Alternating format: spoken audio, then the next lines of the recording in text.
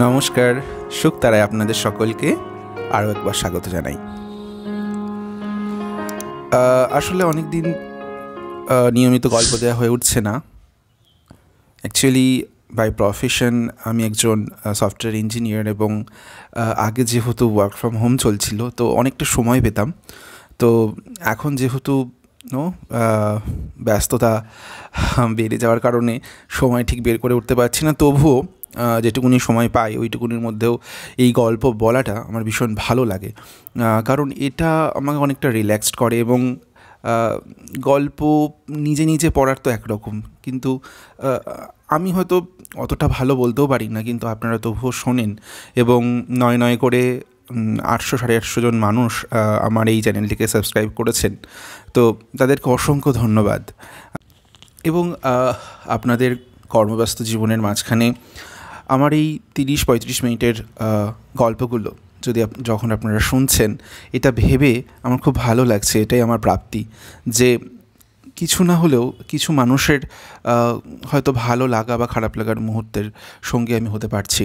তো এইভাবেই শুক্তারার পাশে থাকবেন এবং একটা জিনিস আমি বলতে চাই যখন আমার এই চ্যানেলটিতে এক হাজারের মানুষ যুক্ত হয়ে যাবে তখন আমি চাইব আমার ফেস রিভিল করতে এবং আপনাদের সামনে একটি নো ভিডিও বার্তা নিয়ে ডেফিনেটলি আসার চেষ্টা করব। তো অনেক কথা বলে ফেললাম। তো চলুন শুরু করা যাক আজকের গল্প। শুক্তারায় আজকে থাকছে সুনীল গঙ্গোপাধ্যায়ের একটি ছোট গল্প। মেয়েটিকে দেখলেই বোঝা যায় সে আগে কখনো কলকাতায় আসেনি। হাওড়া স্টেশনে সকাল পৌনে দশটার ভিড়ের মধ্যে সে স্পষ্টতই একা। একটা হলদে দূরে তাঁতের শাড়ি পরা। কপালে লাল টিপ। সিথিতে অনেকখানি সিঁদুর। তার বয়স তেইশ চব্বিশের বেশি হবে না। পাতলা দোহারা। একটু বেশি লম্বা বলে হিল হিলে ভাব আছে। তার চোখে প্রতিফলিত হচ্ছে প্রথম দেখা শহরের ছবি। অফিস টাইমে সবাই ব্যস্ত, হুড়োহুড়িতে মত্ত। এমন সময় সিথিতে অতখানি সিঁদুর দেওয়া কোনো রমণীকে মানায় না। সে জনস্রোতে ধাক্কা খাচ্ছে, কেউ কেউ ইচ্ছে করে তাকে খোঁচা মারছে। সে স্রোতের ফুলের মতো দুলছে এদিক ওদিক, তার হাতে একটা ছোট চটের থলি, অন্য হাতে একটি পোস্টকার্ড। সে একজন মহিলার সামনে দাঁড়িয়ে ব্যাকুলভাবে বললে, ও দিদি ও দিদি সবাই কাটায় কাটায় সময় ধরে ট্রেন চাপে। হাওড়ায় নেমেই ছুটে গিয়ে বাসের জন্য লাইনে দাঁড়াতে হয়। নইলে অফিসে লেটমার্ক পড়ে। এমনকি কারোর একটা বাজে হাতের লেখা পোস্ট কার্ড পড়ার সময় কি কারোর আছে? তবু কেউ কেউ দাঁড়ায়। সমস্ত শরীরটা অস্থিরভাবে দুলিয়েও সহানুভূতির সঙ্গে মেয়েটির কথা শুনতে চায়। শুনে অসহায় ভাব করে। পোস্টকার্ডটায় এক পিঠে একটা ঠিকানা লেখা আছে। Tarama chemical works, thirty two, Ganesh Saha Lane, Kalikata. এরকম একটা অজ্ঞাত রাস্তা কে চিনবে? পোস্টাল জোন পর্যন্ত লেখা নেই। একজন মধ্যবয়স্কা ফর্সা গালভারি চেহারার মহিলা সমস্ত পোস্টকার্ডটি পড়লেন। তারপর জিজ্ঞাসা করলেন, তুমি একলা এসেছ? কলকাতায় তোমার আর কেউ চেনা নেই? মেয়েটি দুদিকে মাথা নাড়ল। মহিলা বললেন, এরকম হুট করে কি কেউ আসে নাকি? কলকাতা শহর বড় কঠিন জায়গা। মহিলাটি বেশ জোরে জোরে কথা বলছেন।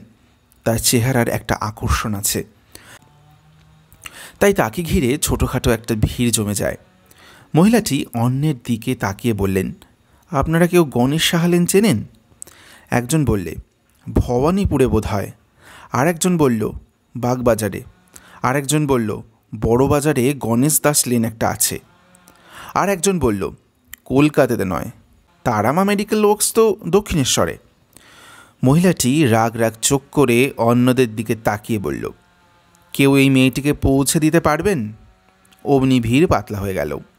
ফর্সা মহিলাটি এই পুরুলিয়ার রঘুনাথপুরের বউটিকে বললেন আমার হাতে তো একদম সময় নেই ভাই। না হলে আমি তোমাকে একটা কিছু ব্যবস্থা করতাম। তুমি বরং পুলিশের কাছে গিয়ে খোঁজ করো। মহিলাটি পোস্ট কার্ডটি ফেরত দিয়ে এগিয়ে গেলেন। একটুখানি গিয়ে আবার পেছন ফিরে বললেন, দাঁড়িয়ে রইলে কেন? যাও। মেয়েটি তবু মূর্তির মতো দাঁড়িয়ে রইল। পুলিশ শব্দটি তাকে কাঁপিয়ে দিয়েছে। জন্ম থেকেই সে জেনে এসেছে পুলিশের কাছাকাছি যেতে নেই। প্রজাপতি যেমন চড়াই পাখির কাছে যায় না চড়াই পাখি তেমন বেড়ালের কাছে যায় না। কলকাতা পুলিশ কি আর অন্যরকম হবে? একটা ট্রেন পৌঁছে গেছে। পরবর্তী ট্রেন একটু পরে আসবে। মাঝখানে সময়টায় প্ল্যাটফর্ম একটু ফাঁকা হয়। তখন পাজামার ওপর নীল শার্ট পরা একটা লোক, চিমসে চেহারা, মুখখানা ছুচালো ধরনের, একটা সিগারেট টানতে টানতে তার পাশে এসে দাঁড়িয়ে জিজ্ঞাসা করল, তুমি বিষ্ণুপদকে খুঁজতে এসেছ? মেয়েটি আবার কেঁপে উঠল। কেউ যেন তার হাতে চাঁদ গুজে দিল এইমাত্র। এই লোকটা তার স্বামীকে চেনে? লোকটি বলল, তুমি বিষ্ণুদার বউ? মেয়েটি এবার জোরে জোরে মাথা নাড়ল। লোকটি আবার বলল, তারামা মেডিকেলে বিষ্টু তো আমার সঙ্গেই কাজ করে। বিষ্টু বলেছিল বটে ছ মাস বাড়ি ফেরা হয়নি। আমার বউটা নিশ্চয়ই খুব চিন্তা করছে। বিষ্টু গত সপ্তাহে তোমাকে একটা চিঠি লিখেছে। তুমি পাওনি? মেয়েটি বলল, কই না তো? লোকটি বলল, বিষ্ণু কখনো বাড়ি ভাড়া করতে পারেনি, তাই তোমাকে এখানে আনার ব্যবস্থা করতে পারেনি, আমার সঙ্গেই থাকে। তা বলে তুমি হুচ করে চলে এলে? কানের ফুল দুটো কিসের? রূপোর? হাতের লোহাটা সোনা দিয়ে বাঁধানো না পেতলের?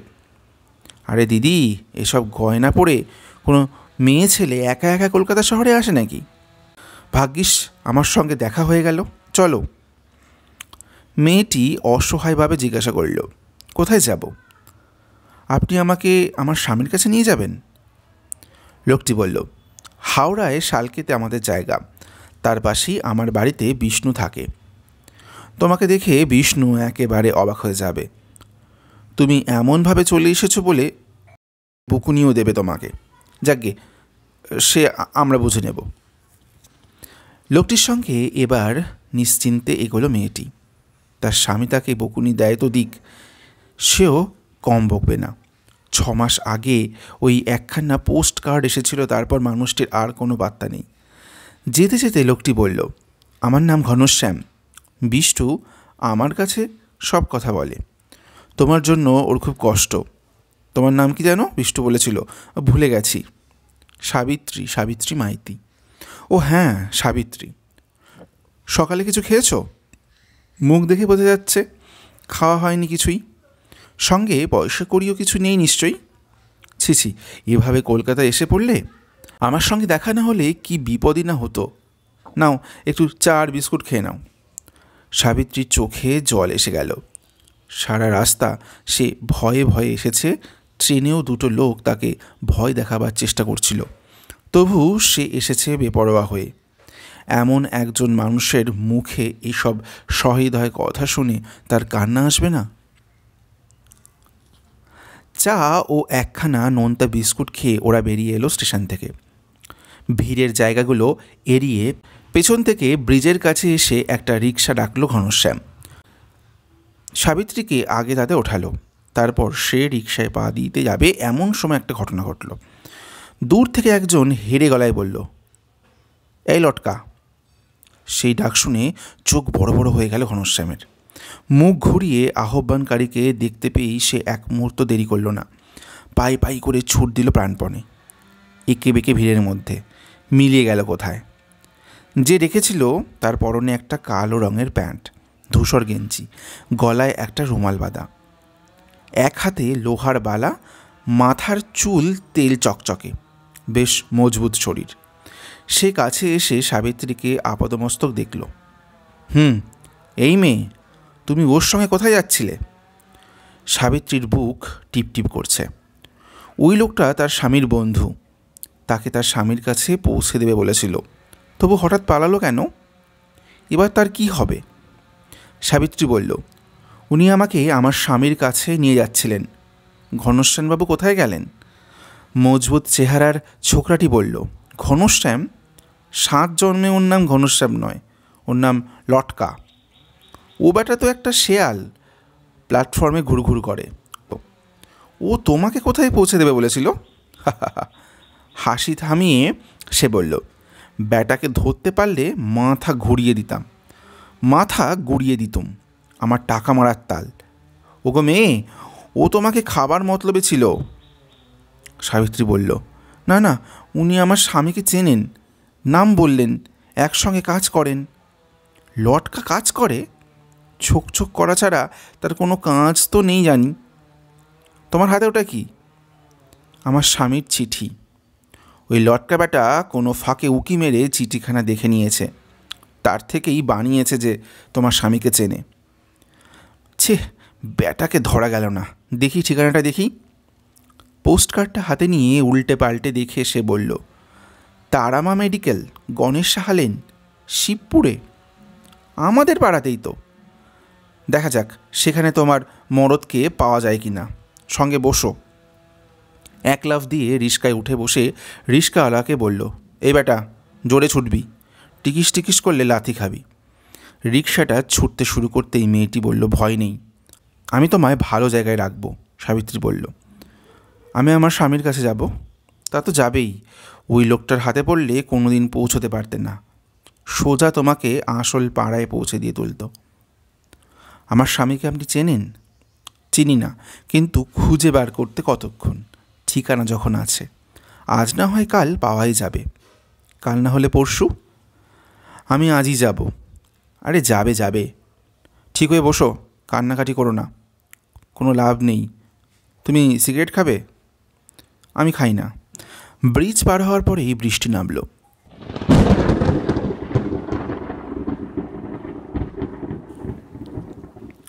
রিক্সার ছাউনি তুলে দিতে হলো। ছোকরাটি তখন তার একটা হাতে সাবিত্রীর কোমর বেষ্টন করল। তারপর বেশ ভাব দিয়ে বলল, গ্রাম থেকে চলে এসেছ? ভালো। গ্রামে কি মানুষ থাকে? যত সব ক্যাংলা পার্টি। আমিও চলে এসেছি। একটু সরে বসুন, গায়ে হাত দিচ্ছেন কেন?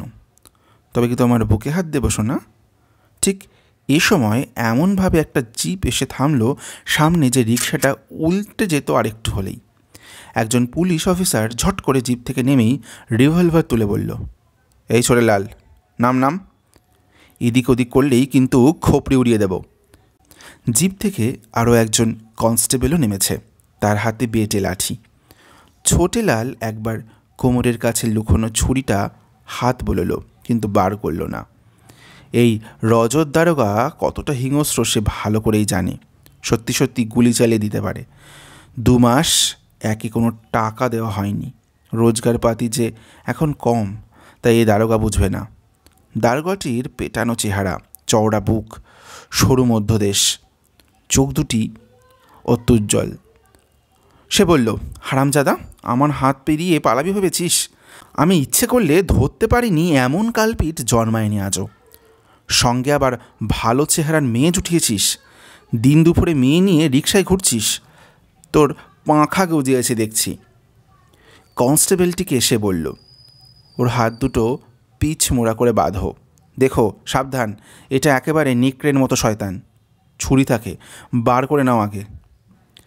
ছোটেলাল বলল, বড়বাবু, এই মেয়ে ছেলেটি ঠিকানা খুঁজে পাচ্ছিল না, তাই ওকে পৌঁছে দিচ্ছিলুম। দারোগাটি মাথা ঝাঁকিয়ে ঝাঁকিয়ে প্রবল জোরে হেসে উঠল, তারপর বলল, তুই পৌঁছে দিচ্ছিলি? হ্যাঁ কেন? তোর বুঝি খিদে নেই? ছোটলাল বলল, বড়বাবু, আপনি তবে ওকে নিন, আমাকে ছেড়ে দিন একবারটির মতন। দারোগা গর্জন করে উঠল, চপ! তোর কথা তো, ওর কথা তোকে চিন্তা করতে হবে না। তারপর ছোটেলালের চুলের মুঠি ধরে বলল ওর গাড়িতে। এবার তোর মাথা যদি ভেঙে না দিই তা আমার নাম মাধব সর্দার নয়। ছোটেলালকে জিপে তোলার মধ্যে, ছোটেলালকে জিপের মধ্যে ঠেলে দিয়ে মুখ ফিরিয়ে বেশ নরম গলায় দারোগাটি সাবিত্রীকে জিজ্ঞাসা করল, তুমি কবে থেকে লাইনে নেমেছ? আগে তো দেখিনি? সাবিত্রী সিটিয়ে গিয়ে বলল, বাবু বাবু, আমি পুরুলিয়া থেকে এসেছি। আমার স্বামীকে খুঁজছি। এই যে আমার স্বামীর ঠিকানা। পোস্টকার্ডটি হাতে নিয়ে দারোগাটি সব পড়ল। তারপর বলল, ঠিক আছে, একটা কিছু ব্যবস্থা হয়ে যাবে। ওঠো, জিপে এসো। সামনের সিটে ড্রাইভারের পাশে বসল দারোগা।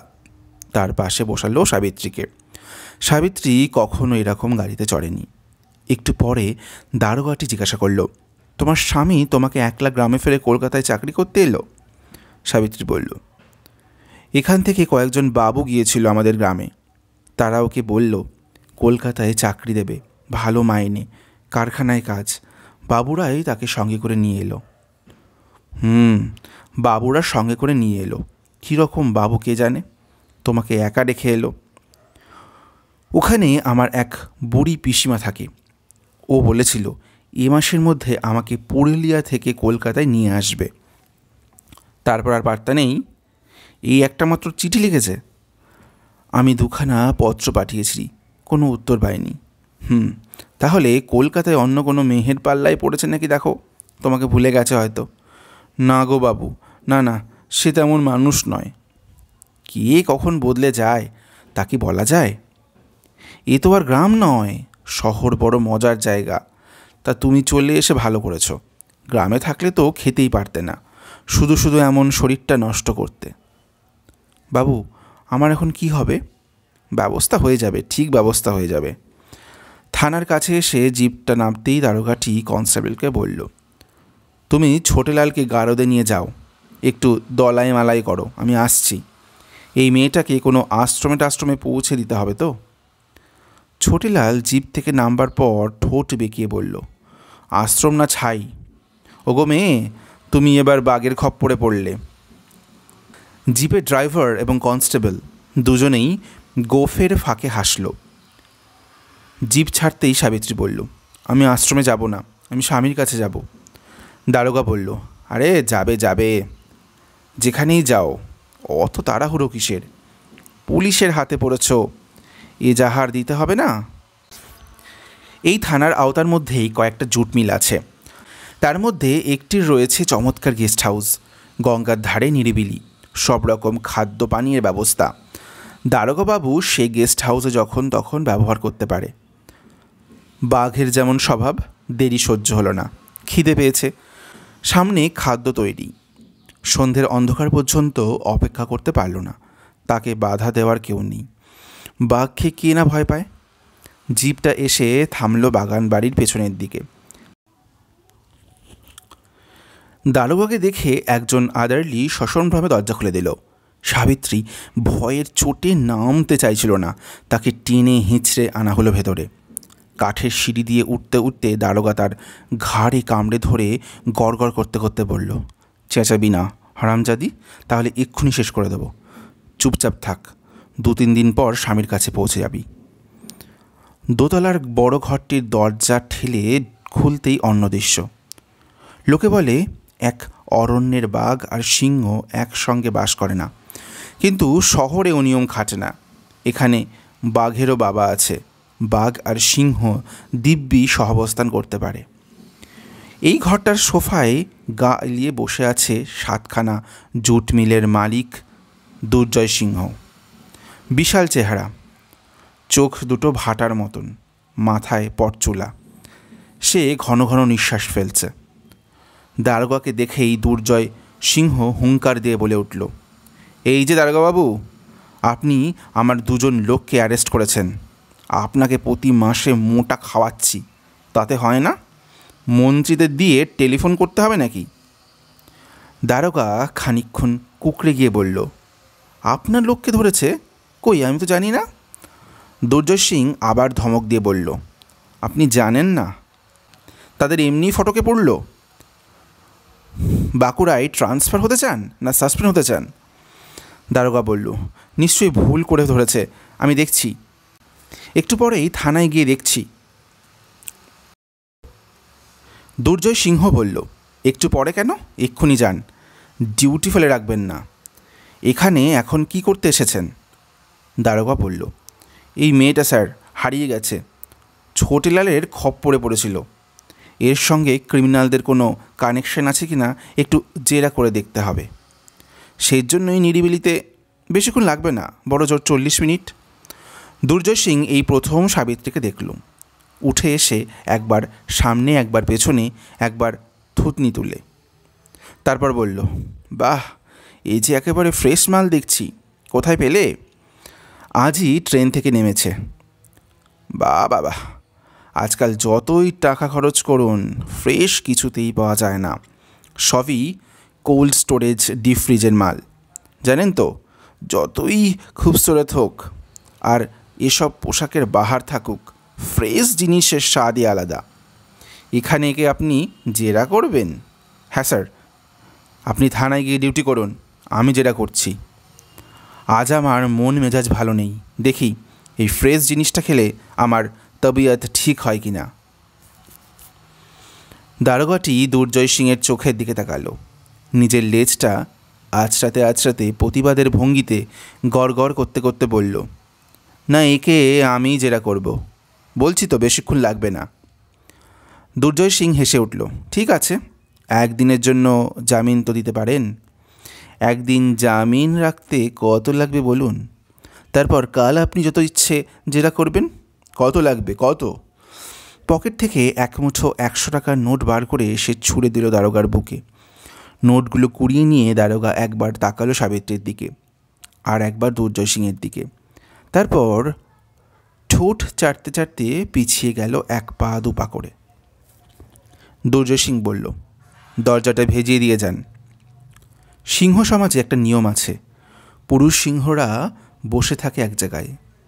সিংহিনীরাই শিকার করে। সিংহিনী সব জোগাড় করে দেয়, সিংহ দয়া করে খায়। তারপর সিংহিনী সিংহের গাঁ চিরে পরিষ্কার করে দেয়। এখানেও সেরকম একটা কিছু ঘটল। একটা এয়ার কন্ডিশনড গাড়ি এসে থামল প্রধান দরজায়। খুব ফর্সা, কুলাঙ্গিনী চোখে কালো, চশমা পরা এক মহিলা সেই গাড়ি থেকে নেমেই ধূপধাপ করে উঠতে লাগল সিঁড়ির দিকে। একজন আদারলি কিছু বলতে এলো তাকে। সে এক ঠেলায় সরিয়ে দিল তাকে। তারপর দরজায়, তারপর ওপরে এসে ধাক্কা মেরে খুলে ফেলল দরজা। দুর্জয় সিং তখন সবেমাত্র সাবিত্রীর আঁচলটা খুলে ফেলেছে। ঘুরে দাঁড়িয়ে গর্জন করে বলল, কে? স্থূলাঙ্গিনী মহিলাটি তা গ্রাহ্য না করে সাবিত্রীর দিকে এগিয়ে আস্তে আস্তে বলল, এ কে? দুর্জয় সিং কোনো উত্তর দিল না। মহিলাটি নাক কুকুরে বলল, ছি, এই তোমার রুচি হয়েছে? অ্যাংলো মেয়ে, বম্বের ফিল্ম অ্যাক্ট্রেস, আমেরিকান হিপি, কলেজে পড়া বাঙালি মেয়ে, কিছুতেই আমি আপত্তি করিনি। খাও না, যত ইচ্ছে খাও, তা বলে এই নোংরা, গরিব, গাইয়া চাই তোমার? এত কত? কোন রোগ আছে না কি আছে ঠিক নেই? ছিছি তুমি খানদানি মুসলমান, পাহাড়ি মেয়ে, অফিসারদের বউ, কী চাও বলো? এটাকে দূর করে দাও। তারপর পা থেকে চটি খুলে সাবিত্রীকে মারতে মারতে বলল, বেহুদা, রেন্ডি খান কি? দূর হয়ে যা। মর তুই, মর। তোকে শেয়াল কুকুর খাক। তুই এসেছিস কেন সিংহের গুহায়? মার খেয়ে সাবিত্রী মাটিতে পড়ে যেতেই স্ত্রী লোকটি হাঁক দিল, আর্দালি, এই রেন্ডিটাকে অনেক দূরে মাঠের মধ্যে ছুঁড়ে ফেলে দিয়ে এসো। নদীর ধারে, একটা আবর্জনার স্তূপের ধারে বসে সাবিত্রী এখন অঝরে কাঁদছে। শুধু কেঁদেই চলেছে। সে এখন কোথায় যাবে তা জানে না। কোনো কবি হলে এই জায়গায় হয়তো লিখতেন। একসময় সাবিত্রীর প্রতিটি অশ্রুবিন্দুমুক্ত হয়ে ঝরতে লাগল। যাদের হৃদয়ে পরিতাপ আছে, তারাই শুধু দেখতে পায় সেই মুক্ত। তারা হাত জোর করে সাবিত্রীর সামনে এসে বসল। কোনো পেশাদার প্রগতিশীল হলে বলতেন, সাবিত্রীর চোখের জলের ফোঁটাগুলো আসলে এক একটি অগ্নিস্ফুলিঙ্গ। ক্রমশ সেই সব অগ্নিস্ফুলিঙ্গ থেকে দাও দাও করে জ্বলে উঠল আগুন। সেই আগুন পুড়িয়ে ছাড়খাড় করে দিল দুর্জয় সিংহের মতন অত্যাচারীদের। কিন্তু সেরকম কিছুই ঘটল না। সাবিত্রী শুধু অসহায়ভাবে কেঁদে চলেছে। গল্প লেখকের মুশকিল, এসব গল্প শেষ করা যায় না। ধরা যাক, অন্য একজন পুলিশ অফিসার কিছু কিছু পুলিশ তো সৎ ও ভদ্র থাকতেই পারে। তাদের একজন সাবিত্রীকে পৌঁছে দিল তার স্বামীর কাছে? তাহলে কিন্তু সেটা গল্প হবে না। কিংবা এক সহৃদয় ভদ্রলোক কিংবা তরুণ আদর্শবাদী সাবিত্রীকে যত্ন করে তুলে দিল পুরুলিয়ার ট্রেনে? বাস্তবে এরকম ঘটে, কিন্তু ছাপার অক্ষরে পড়লে সবাই বলবে, বাজে গল্প। সুতরাং সাবিত্রী ওখানেই বসে থাক। কাদুক। শুধু অসমাপ্ত গল্পের অস্বস্তিতে আর সাবিত্রীর কান্নার শব্দে লেখকের একটা দিন মন খারাপ অবস্থায় কাটবে। ধন্যবাদ।